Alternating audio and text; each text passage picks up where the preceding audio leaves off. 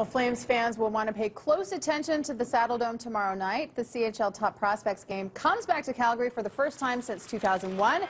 There are plenty of names to watch during the scouting showcase, especially if the Flames get one of the top picks this year. Former Flames players Tim Hunter and Jim Peplinski have signed on as coaches. They're here to tell us what to expect.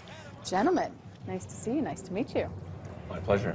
Uh, one of the byproducts is that you guys, who know each other very well on and off the ice, get to hang out. Uh, so when were you approached to be a, a, coach? And I'm sure you jumped at the opportunity. Well, I was kind of on the outside looking in. I was uh, wasn't part of it. Then I became an assistant coach, and then Lanny couldn't take over as head coach, so now I'm a head coach at Team Orr. So, but again, it's a thrill to be in the same sentence as Bobby Orr, the Canadian Hockey League, and the NHL, and to hanging around with my pal Jim and uh, the rest of the Flame guys. It's a long process, long negotiation. Oh, yeah? yeah? What are you getting in return? we get to come and be with you. Well, we appreciate it. And some other uh, former Flames also uh, going to hang out with you there, I understand. Yeah, we've, um, we've got a, an interesting group. Paul Reinhart and Mark Hunter are with me, and uh, Mike Vernon and Joel Otto are with, uh, with Tim. And the idea was, with the prospects game, although it is a Canadian Hockey League, and in this particular case, a Western Hockey League-centric event, uh, to bring some guys from the Flames, the Flames owning the Hitmen, mm -hmm. have a connection to a large extent with the 25th anniversary of the Stanley Cup, give guys a chance to get together, and anybody who was who connected to the uh, Western Hockey League in some way, and that's how our coaching team got put together. Okay, so let's go back to when uh, you guys were both drafted in the same year.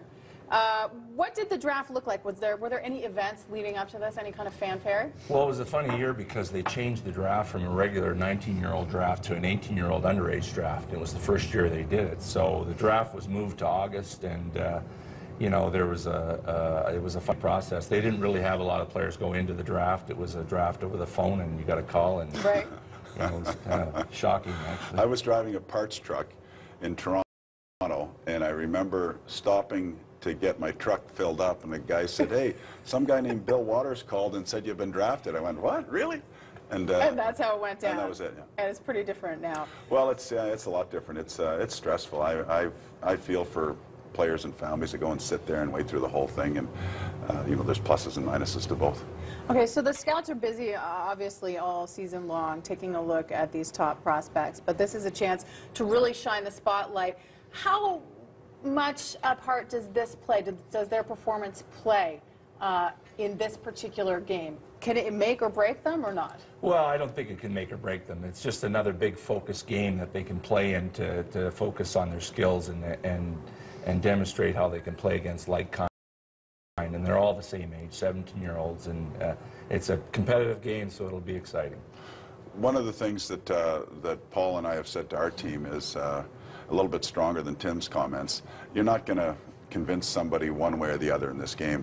Uh, we're really trying to make sure these guys relax and just go out and enjoy the game. We can't change how they play. We're not going to teach them new skills, but we can, to a great extent, give them some indication of how you behaved in the National Hockey League. And when have a chance to go out and play, to actually enjoy the game. But make no mistake, the, the scouts are there. People oh, are sure. people are very Absolutely. much watching what's happening. Yeah. They're at practice yesterday, and they'll be there all day today, do, watching them do their physical right. testing and what have you. So, oh yeah, they're around. Okay, so you guys both uh, played with Paul Reinhart, who's hanging out with you during yeah. the game. His son. Uh, expected to be a top draft pick, I think sitting at number four. Is he sitting at number? Yeah, sitting at number four in Central Scouting on their midterm report. Let's talk about him a little bit.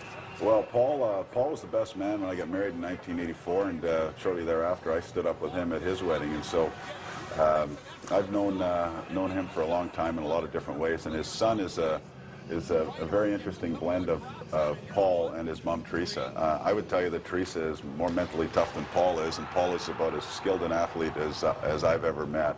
And uh, those two combinations have have given Max a very interesting set of skills and mental toughness. He's a he's a skilled young man. He he presents himself well, and uh, and he's a very very uh, uh, crafty and clever player. Mm -hmm. It's going to be fun to have him on our team tomorrow night. And of course, the host team, the Calgary Hitmen.